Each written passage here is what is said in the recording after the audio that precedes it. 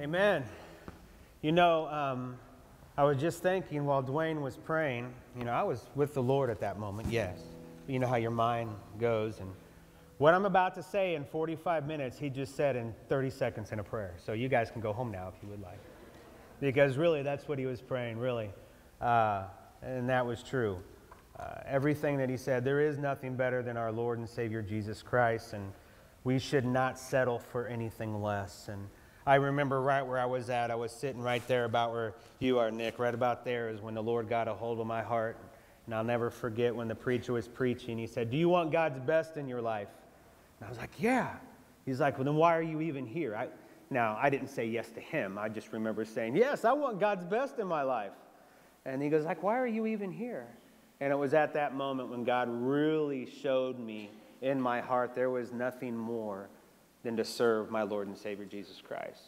God wants you to give you his best. You should want his best. Amen. So, you know, this next uh, four weeks, uh, you have right here in front of you this book. We'll talk about it here in a second. Obviously, um, I am not Browning. Um, I do not have that height. Maybe a little bit better looking, maybe a little. Just see, I can say that now because we're not being recorded. He's not going to see this, right?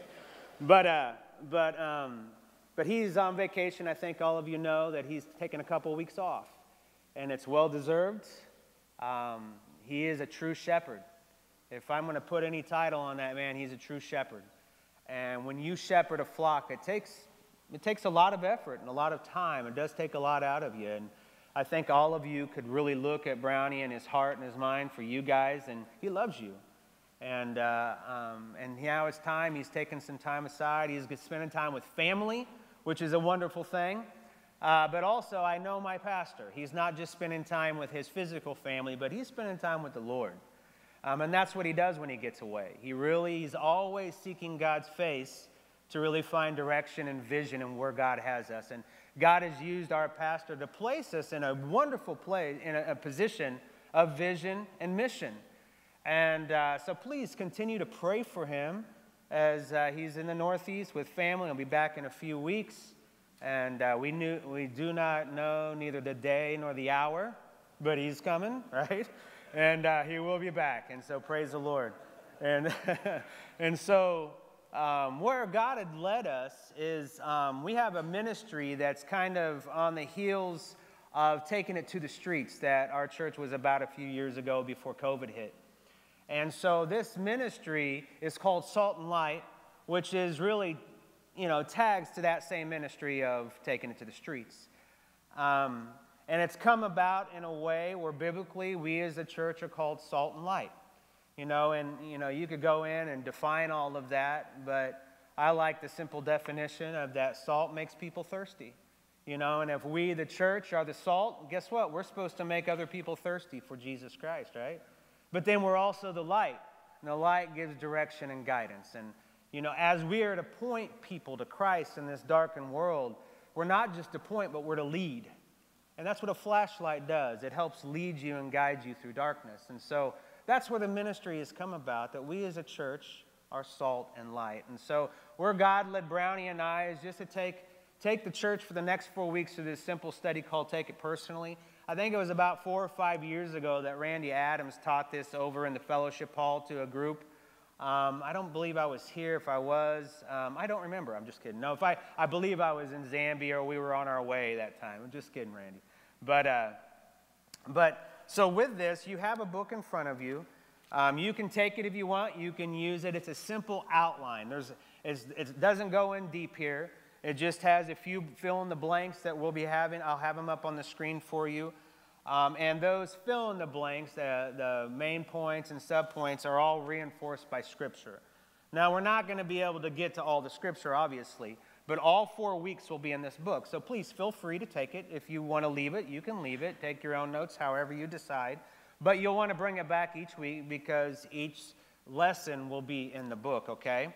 And so, with that, let's go ahead and pray, and then we're going to go ahead and get started on this lesson. And again, let me just tell you that everything that we're going to be learning, okay, everything that we're going to be talking about, I'm going to set this down here, is messages and, and that we as a church have already heard. I mean, they are. There's nothing probably going to be new to a lot of you. For some, there could be. But it's just the simple message of our responsibility to fulfill the Great Commission. So we've already heard them, but I'm just telling you, we need to hear them again. And we need to hear them again. And we need to hear them again. You know, I, I, um, I remember going through some notes, and, and I remember hearing that, uh, or reading about, in the new, when the church was birthed, they didn't have to have evangelistic classes on how to evangelize. They just did it. They just went, you see? And in time, as we'll talk about this in a little bit, we fall off a little bit at times. We need to be reminded, we need to be refreshed, we need to be refined on the importance of getting out and fulfilling this great commission. And so let's go ahead and go to the Lord in prayer, and, uh, and we'll go from there. Father God, we thank you and praise you. What a wonderful time you've allowed the church to come together and to worship you on this first day of the week. That's why we're here, God. We're here to worship you, to glorify you with truth, with our words, with our actions, with our mind and our heart, with the pre- preparing our hearts through song. And that was all for you. And we thank you that you've allowed that to affect us, to be able to worship you. You are a holy God, and that's your desire for us. So I ask and pray, Lord, that everybody in here today's heart would be ready and prepared to bring and take in the word, and then be challenged to go out into the world and be your hands and feet. We love you and praise you, and we ask all these things in Jesus' name. Amen. Let's see here. Is this on? It's on. It's supposed to be working. It's not working. I have it on, I promise you. We put a new battery in it. All right, so go ahead and go to the next one. You got it? All right, I'm going to have to let you know when to move forward. And so, this, this title of this week's lesson is called Making a Difference. Okay? And, and if you read the book, the book starts out with an illustration. And in this illustration, there's, a, there's this beach. And there's, if you look down the beach, there's all these, these uh, uh, stars, you know, the, what do you call them? Starfish. And there are just thousands of them covered on the beach that have been washed up on the shore. And this man walks up and he sees a little boy picking up one starfish and he's throwing it back in. And he picks up another and he throws it into the ocean. And the man's like, What are you doing? Why, why are you doing this? He said, There's too many. There's too many. I mean, it would take months, if not days, months, and years to be able to get them all back in. You're not going to make an impact. You're not going to make a difference. And then the little boy, he leans over and he picks up the one starfish and he throws it back and he says, Made a difference for that one. And he picked up another one and he says, Made a difference for that one. You see, the illustration in there is that every starfish was valuable, every starfish was important.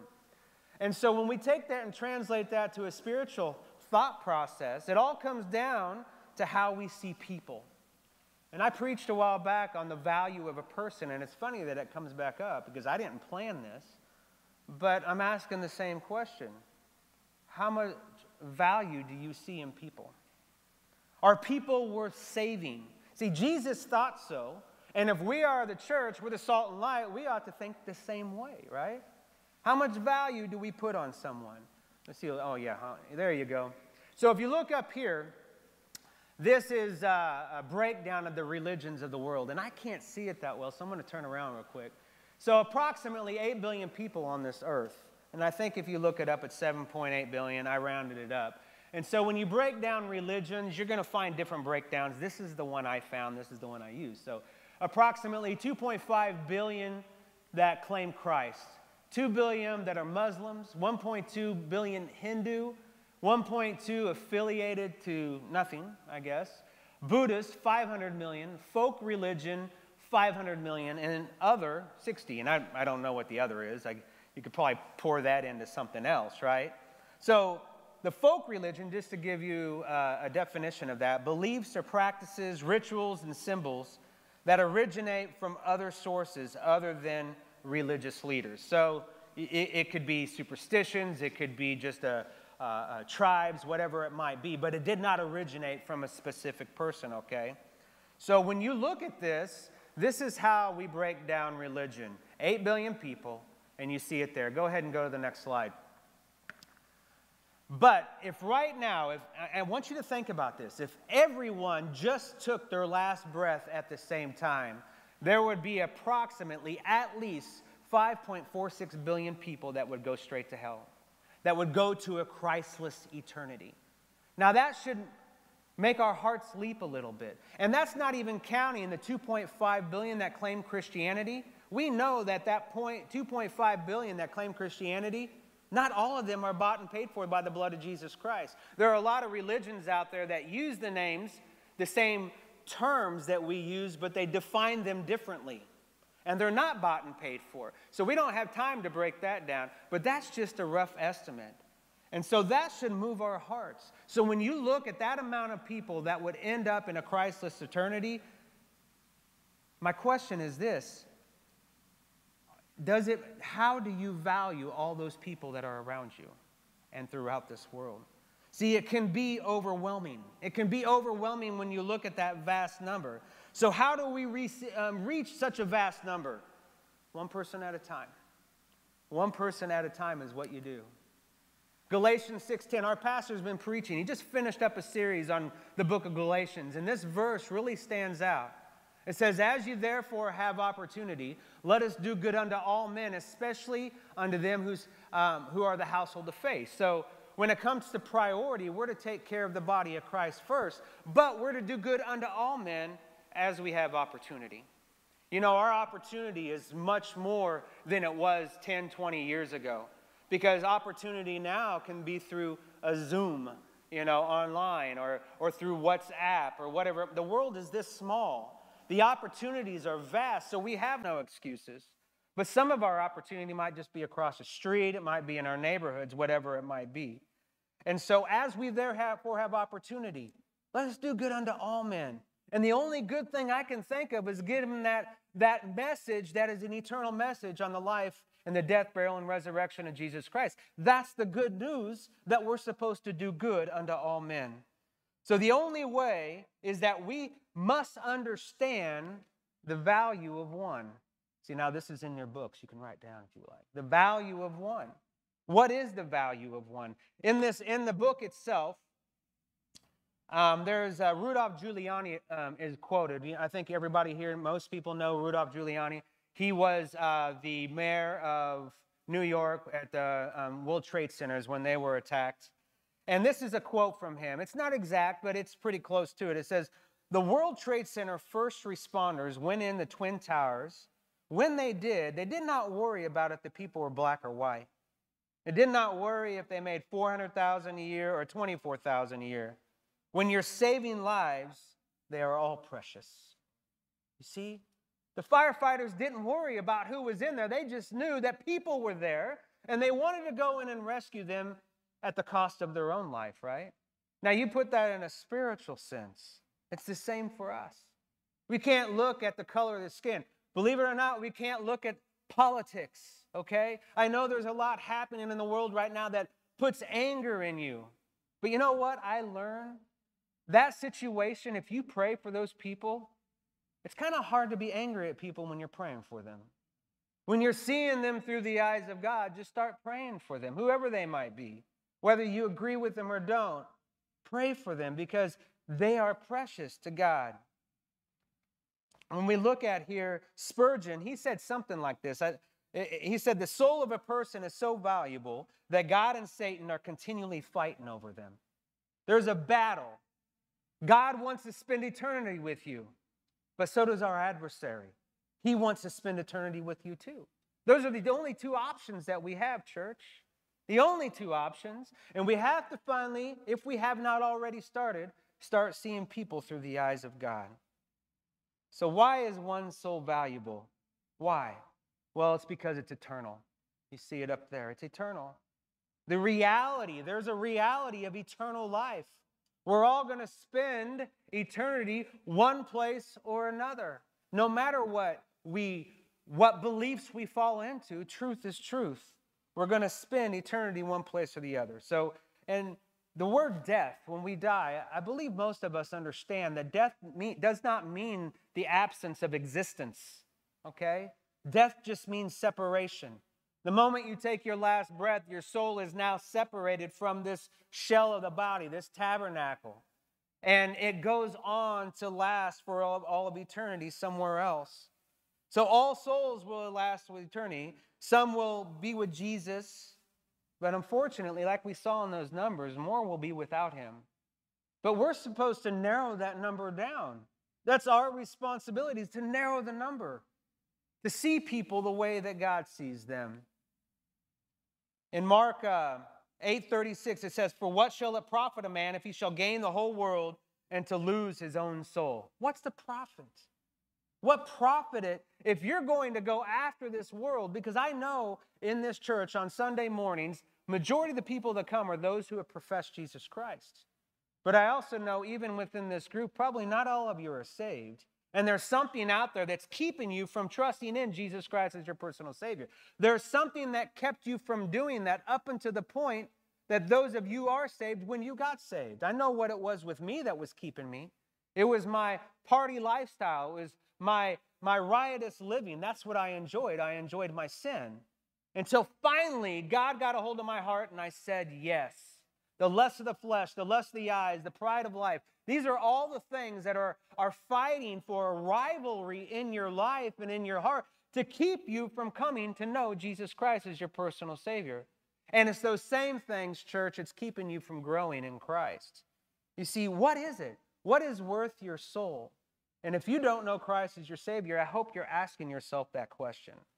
So, what is this value of one? What does this tell us? It tells us this that heaven and hell are real. Heaven and hell are real. See, we come from the assumption that where our beginning point is from Scripture. I believe Scripture is 100% truth. It's truth.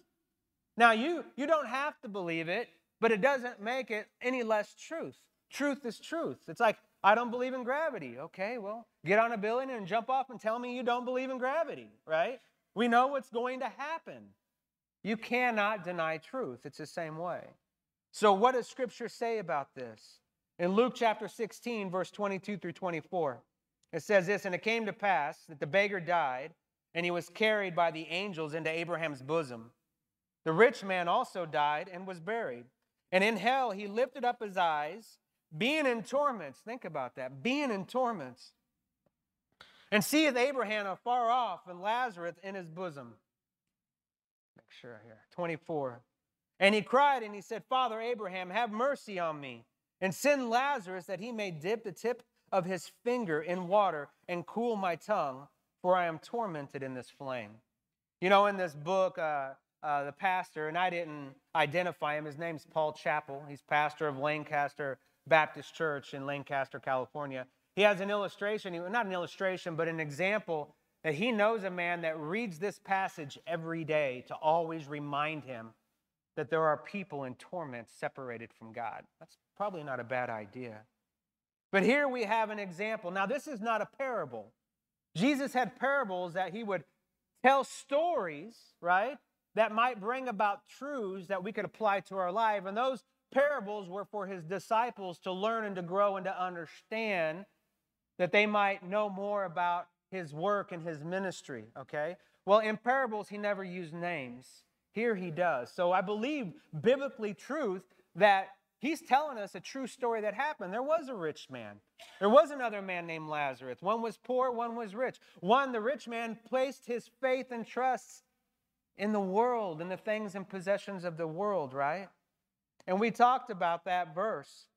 What profit, what shall it profit a man if he shall gain the whole world and lose his own soul? The rich man understands what that question means right now. But Lazarus, he's in Abraham's bosom, which, which is, is in paradise at that time. And I don't understand it 100%. I can just tell you with scripture. But the Bible says that hell down there in the center of the earth, there's a, place called hell. One side is hell, the other side's Abraham's bosom, and there's a, a great gulf in between. And there's obviously communication in between. And I don't know what that looks like. I, I, I can't even wrap my mind around that. But you have one guy who's in torment and another guy who's not, and he's crying over, I just want a little bit of water. I just want a little water. Can you please help me? See, hell is a real place. Hell is, eh, but this is the interesting thing about hell Hell is a place to be feared, but it's not the ultimate fear that a person should have. There is a place that is actually much worse. And if you have your Bibles, go ahead and, and turn to, uh, let me get to the right page here. If you have your Bibles, go ahead and turn to um, Revelation chapter 20. And I'm going to read down here through some verses in verses uh, 11 all the way through 15. Because there's another place that is actually to be feared more than hell itself. And he says here in verse 10 or in verse 11, And I saw a great white throne, and in him that sat on it, from whose face the earth um, and the heaven fled away, and there was found no place for them. And I saw the dead, small and great, stand before God, and the books were opened, and another book was opened, which is the book of life. And the dead were judged out of those things which were written in the books, according to their works. And the sea gave up the dead which were in it, and death and hell delivered up the dead which were in them, and they were judged, every man according to their own works. And death and hell were cast into the lake of fire. This is the second death. And whosoever was not found written in the book of life was cast into the lake of fire. See, I hope you see that. We always talk about, which is true, that hell is a place we should fear, but there's something that's worse. Because the Bible says here that those who die now will go to hell. It's what the Bible says. I'm sorry to tell you that. And I know these are strong words. You don't hear very many messages these days on hell, but it's a reality that we all must talk about and must discuss. But one of these days, God's going to take that and He's going to pick it up and He's going to cast it into a much worse place called the lake of fire. See, all souls are eternal, all souls are precious, all souls are worth fighting for, even, even our greatest memory, our enemies.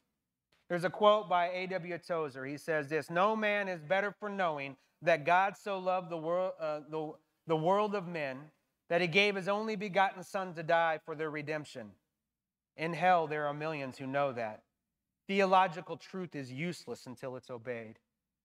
These are the men he's talking about in this quote. There are millions of people right now that are separated from Jesus Christ that would love to hear this message just one more time, but they're never going to hear it again. There's nothing that we can do for them. We can't pray them out of any. Unfortunately, their life is sealed, but I guarantee you they would come out and say, Accept Jesus as your Savior. But see, here's the thing we have 5.46 billion plus plus that are still alive. We have the opportunity to reach some of them. There's a lot of starfish that need thrown back into the ocean, but are we going to take the time to do so? So, what is this theological truth? We understand Jesus is the only way of salvation. We sang about it this morning.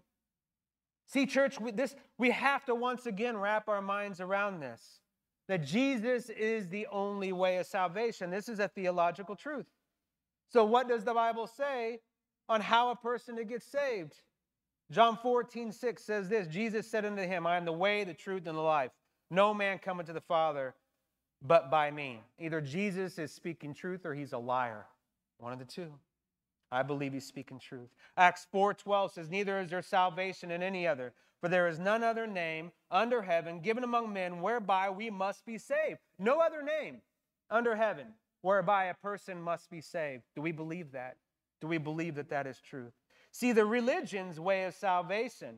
We just talked about the Muslim, the Hindu, the Buddhist, the folk religion, all those others. And even atheists fall into this. It's all built on a merit system. What can I do good to please my God? And that will get me in. And I know this is cliche, but I'm going to say it anyway. Religion is man working his way to God, where Christianity is God working his way to man. You see? That's what religion is. Even atheists, even they, those who don't claim it, we know they have the ability because the Bible says that God lighteth every man that cometh into the world. Every man has enough of God in him through his creation and conscience to, to woo him, to draw him to him. You know, my son Titus and I were talking about this.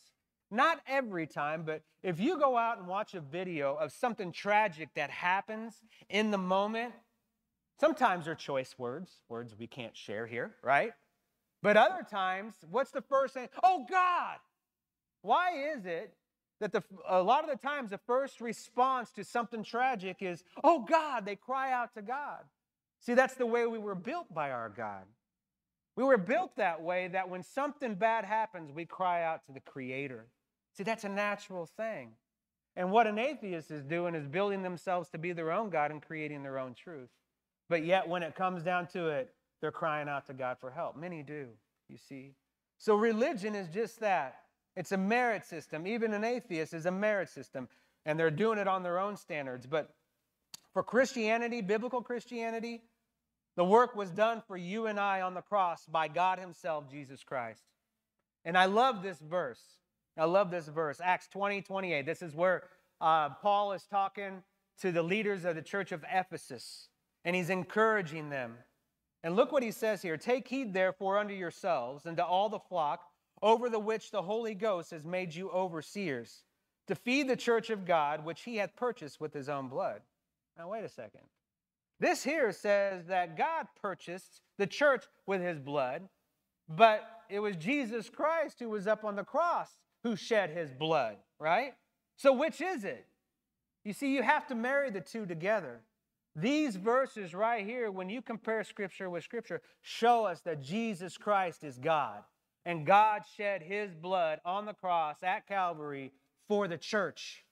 For the church, not one individual, for the church.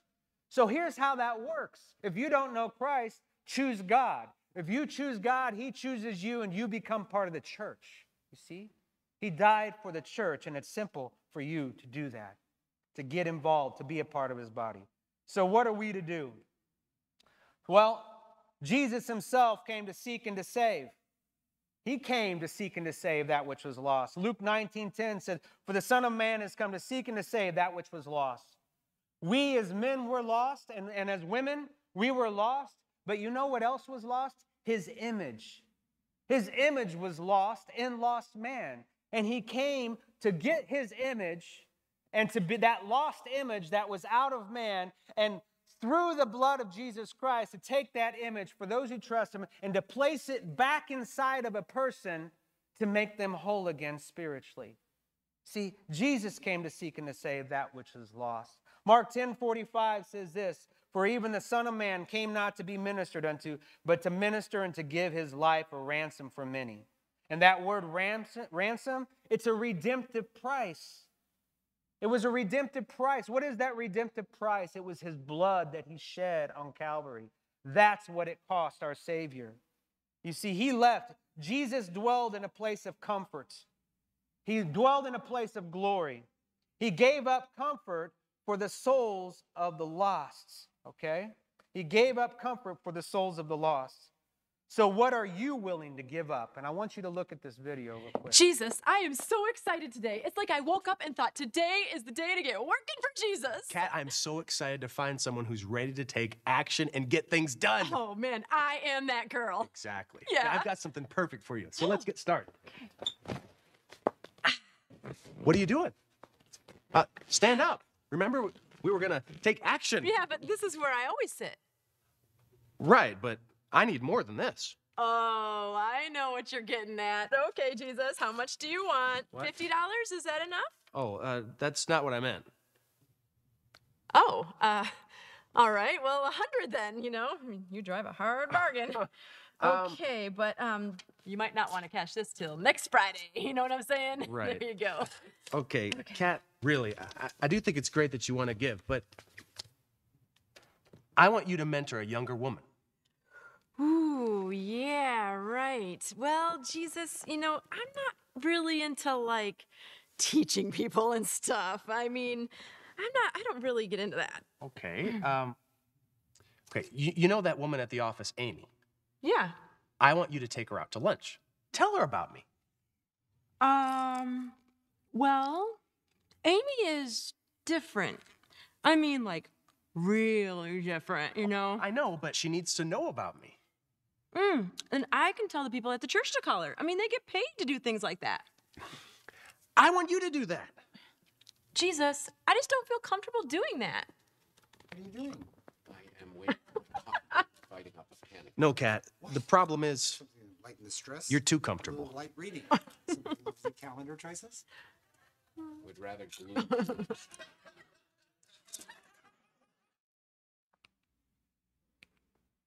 All right, so that was kind of a punch in the gut. Huh? I mean, it was for me, and I've seen that thing many times. But the question, this really goes right along with what we're talking about because we have grown too comfortable. We've gotten comfortable in our lives. Praise the Lord for the United States and all the blessings that it shed. But at the same time, there's some negative to it. We've gotten pretty comfortable where they're at. What are we willing to give up? Okay? We must get up and get up from our comfort and go. We've got to go. That word go means it's an action word, okay? The church is the only vehicle that God has chosen to take the message. It's not going to happen through anybody but the church. So we're called to go. All power is given unto me in heaven and in earth. Go ye therefore. That word power means authority. It's God who's given us the authority. Jesus Christ has been given authority to give us authority. And you know what this is? That authority is a command. And that command is to go, and that go is an action, but we can't do it while we're sitting down.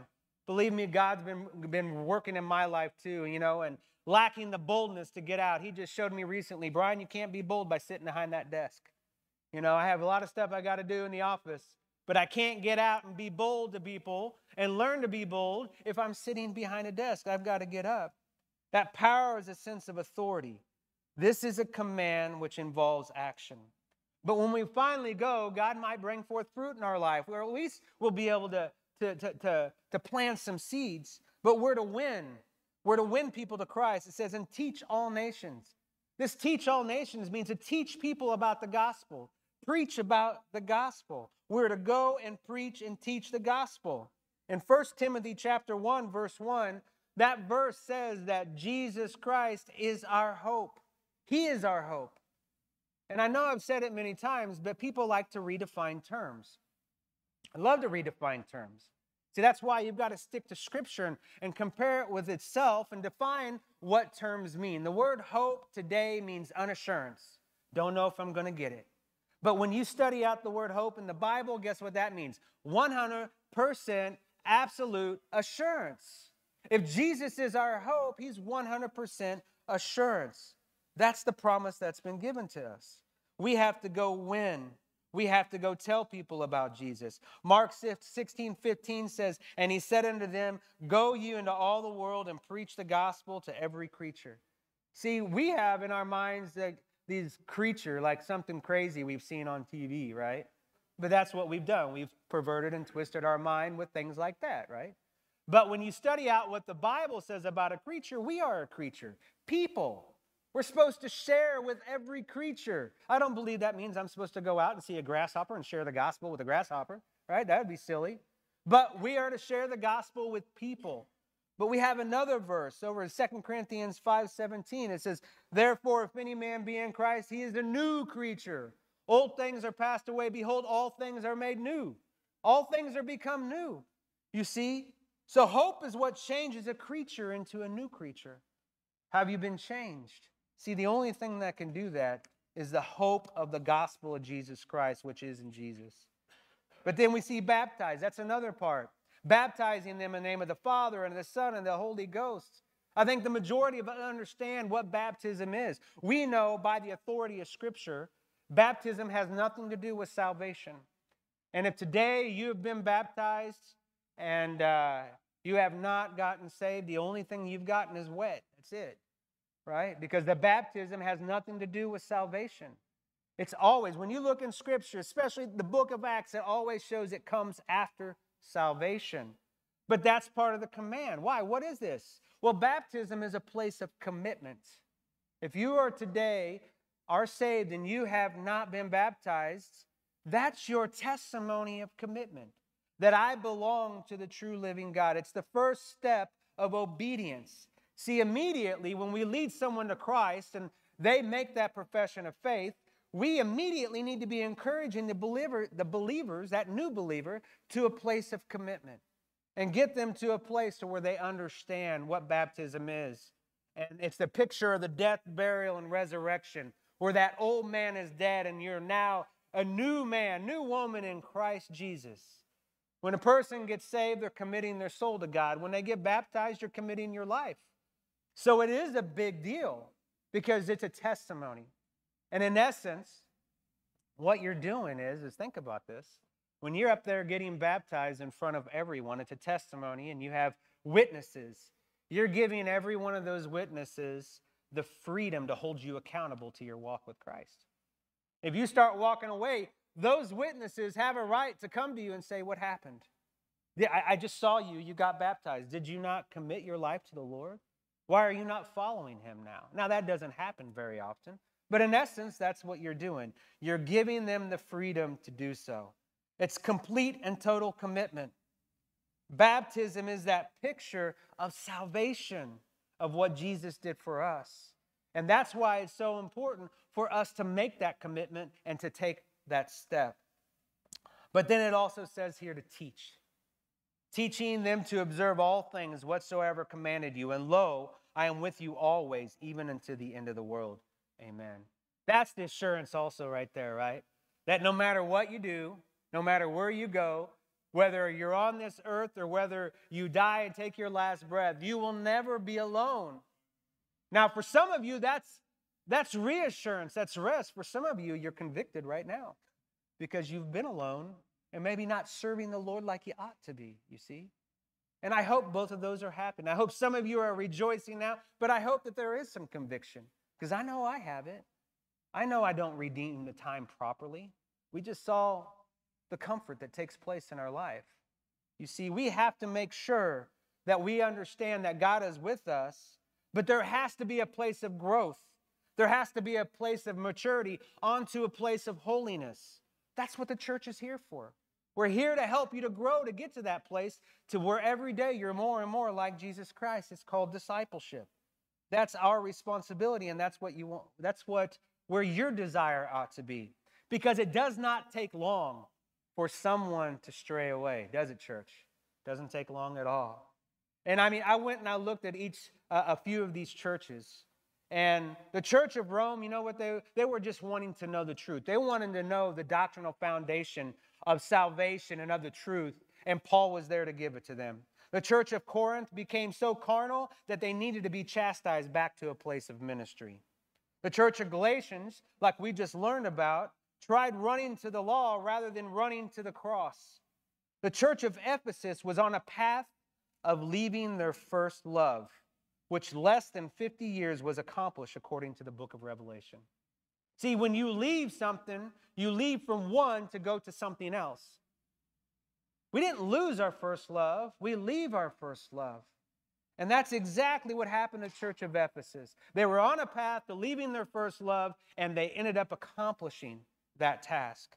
And the church of Thessalonians, they were a model church. They were a model. They were a church full of faith. But the problem was, was they listened to false prophets and believed that the day of the Lord was already upon them. And the reason I'm sharing this is because it doesn't take long to stray away. It doesn't take long to get off that beaten path. And I have no doubt in our church body, many of us are in one of these areas or could be. I hope you're not, but you could be. Maybe you're here and you're desiring the truth and you want to know the truth of Scripture. Praise the Lord, you're at a good church. We can help you with that. Maybe you're a, a carnal. Maybe that means fleshful, have fleshful desires, right? And God is now chastising you back to a place of ministry, uh, back to a place in His arms. Running to the cross. I know we all need to run to the cross, we don't run hard enough. Going back to our first love. There's some of you here today that need to leave where you're at and go back to your first love. Remember when you first accepted Christ? How exciting it was and wow, I just I remember that moment. I didn't ever feel like I could ever get away from it till I was away from it. And I had to look around, Lord, why did I leave you? And then I come back and then I do it again. And I come back and do it again, right?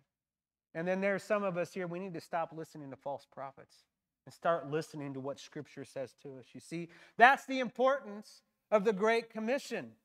That's the importance of it right there. Go, win, baptize, and teach. And you are all to be a part of it if you know Christ as your Savior. And it all comes down to this it comes down to owning the mission. You've got to take ownership of it. You've got to make it real to you and say, This is my responsibility. In this book, there's an illustration here. It says a deacon prayed the same prayer all the time.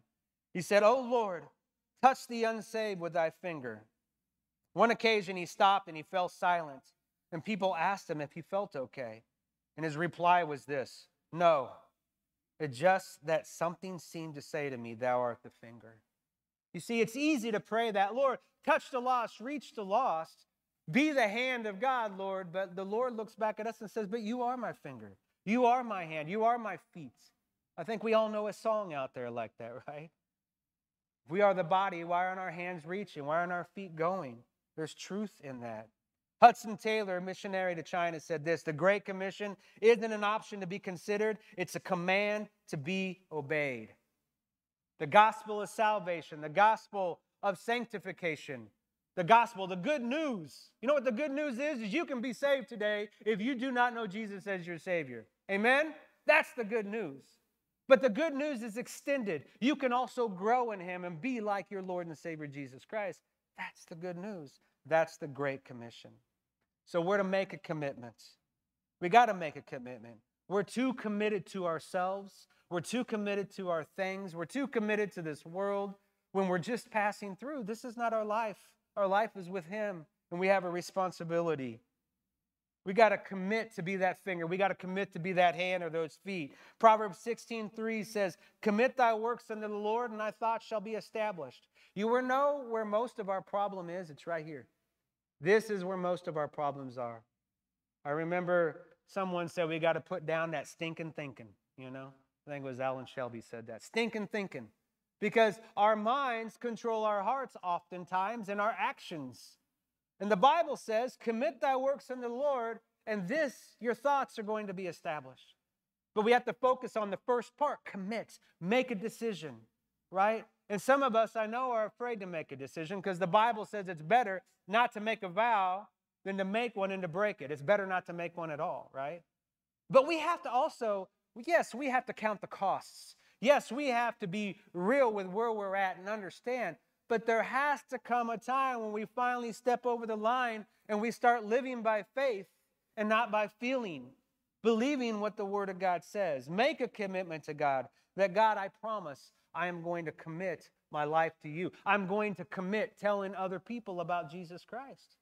Because that's what this message comes down to. Are you going to walk away from your comfort and are you going to commit? Comfort or commit? Which one's it going to be? So you got to make a commitment, but then you got to set a plan. You know, evangelism should not be only an event, but it should be an event. You know, and and again, when I read this, I get so convicted about it. You know, Bobby preached a few weeks ago, and man, it got me going. And it was a message kind of like this one, you know, where it's about evangelism. And it really shook me because I realized that it's easy to sit behind that desk, but it was time for me to get out. So I just started taking some, some New Testaments and I started putting some tracks in them, you know. And when Tammy and I would go out to eat, when the servant come, I would just give her a Bible and said, "Hey, this is a gift from us to you." What are they going to do? They're at work, they have to be nice, right? They got to. So, but at the same time, you're giving them the word of God. Actually, we had one woman that uh, I said, um, and I said to her, "Do you mind if we pray for you? Do you have any, Do you have anything you need prayer?" She goes, "No, but I'll pray with you." She got on her knees right there in the restaurant and prayed with us. It was amazing. See, that's very easy, but that's what we did. We just decided we're going to start handing those out, you know. And then, even then, it's easy to stray away from that. But uh, let me just tell you, at the end of this four weeks, on August 22nd, you're going to have the opportunity to get involved with our Salt and Light ministry. And guess what? It's not going to be easy. But you know what? Jesus never concealed the cross, He never made it and sugarcoated it. He told His disciples how difficult it was going to be. And then those who were willing to walk the path. Those who were willing to fulfill did, the others left. It's not going to be easy. It's going to be uncomfortable. It's going to be difficult. But there's time to make a commitment. This doesn't mean that you should wait till the 22nd. We should always be looking for a moment to share the gospel today. And again, my challenge to you go out today. There's the King Pantry out there. Just grab one New Testament, one track, put it in there. Most of you are going out to eat today. If you do, go out and just tell somebody that you want to give them a gift. That's simple. I just like to give you a gift. That's all you got to say. And they'll take it. And I don't know what they do with it. but you're handing out God's word and the ability and the opportunity for people to come know Christ as their Savior. And then uh, seek God's help. 1 Thessalonians 1 5 says this For our gospel came not unto you in word only, but also in power and in the Holy Ghost and in much assurance. Remember, assurance, hope, much hope. As you know what manner of men we were among you for your sake. You see, when Paul and them came in and approached them, you know what they did? They asked for God's help. They asked for God's help. They came in under the power of the Holy Ghost with the hope of assurance. They looked to God for help. So look, don't do it on your own. You got to ask for help. And as we are getting here to the end, the last one is prepare a message. Prepare a message. You know, right now we have a team in Honduras. And as we speak right now, Randy might be preaching right now as I speak. And they're preparing, I know, to go out to the marketplaces. But they've prepared a message. I know that, that Randy and Sean and Mike have been preparing a message for two months to preach in the marketplaces.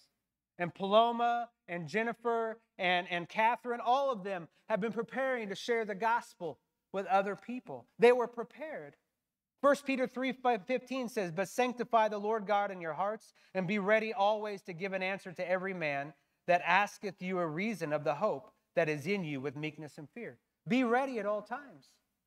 And maybe you don't have the steps to lead someone to Christ through Romans Road. We're actually going to talk about that a little bit more next week. Where that's the, the depth we're going to go is really the practical side of things. But one thing you do have is you have a testimony. You have a testimony. You may not be able to articulate exactly everything but you can at least say, hey, this is where I once was. This is what Christ did for me, and this is where I'm at now. That's how easy it is to give your testimony. Be prepared to give a message just to share with what Jesus Christ did for you. Because in Honduras, they're doing it. Why do we have to go to a different country to do it when we can do it with our own country? This is where we're at, church. This is where we're going for the next few weeks. And I hope and pray that God has really impressed upon your heart either some name, someone, or just more of a boldness and a commitment to get out and to share the gospel with someone. Because in conclusion, this is where we come to. It's time to get out of our place of comfort and do something that challenges us to live by faith. The value of one. What value do you place on one person's soul? How can you go out here and not put that value on when Jesus Christ did and died for it? And if you're here today and you don't know Jesus Christ as your Savior, what value are you placing upon your own soul? To seek and to save, Jesus Christ did that. He came down to seek and to save, and now He's given us a message to go, win, baptize, and teach. It's our responsibility. And are we going to own it? Embrace it, make it our own. Why? Because it's time that we start taking this personally. It's time we start taking this personally. So, here in a second, in closing, you're going to have the opportunity to be able to just spend some time with the Lord. If you don't know Jesus as your personal Savior, today's the day to do it because tomorrow's not guaranteed. The next minute's not guaranteed. You've been clearly seeing the gospel today of Jesus Christ. Today is the day of salvation. But you, church, if you are saved here today, it's time to start owning this. And we're just going to take a few minutes for you to be able to spend time with the Lord.